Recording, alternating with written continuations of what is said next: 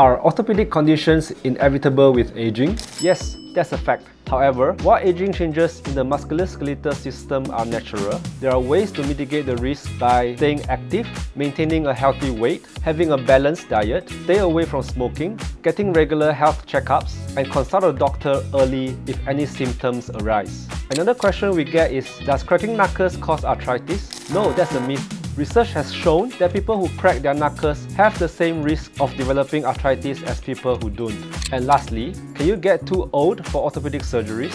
No, that's a myth.